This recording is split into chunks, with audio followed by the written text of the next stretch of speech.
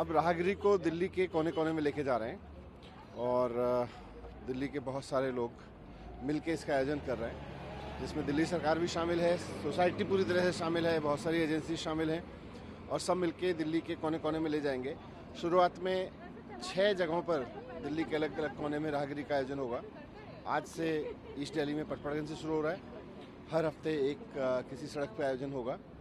और इसमें मैसेज यही है लोगों को कि अपने हिस्से का प्रदूषण थोड़ा कम करें।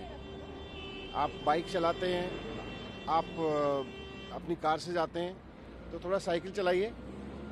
साइकिल चलाएँगे तो फिट भी रहेंगे और साथ साथ में अपने हिस्से का पॉल्यूशन एक दिन तो कम करें। ऐसे समय में शुरू हो रहा है जब एक दिन पहले स्कूल बंद हुए हैं। व्हीकल्स को कम से कम करने की अपील की गई आप लोगों की तरफ़ से। आप भी साइकिल पे सवार हैं और वो भी इलेक्ट्रिक साइकिल है। पॉल्यूशन बहुत बड़ा चैलेंज है सबके लिए। सिर्फ़ पॉलिसीज़ से ठीक नहीं हो सकता है पॉलिसीज़ से मदद हो सकती है बट सबके अंदर एक कमिटमेंट सबके अंदर एक एक्शन प्लान आना चाहिए। हर आदमी उस एक्शन प्लान का हिस्सा बनेगा। आ, कल जो चर्चा हुई सीएम साहब के साथ में उसमें भी यही था कि हर आदमी के लिए कोई एक्शन प्लान रहे और उस पर काम हो रहा है।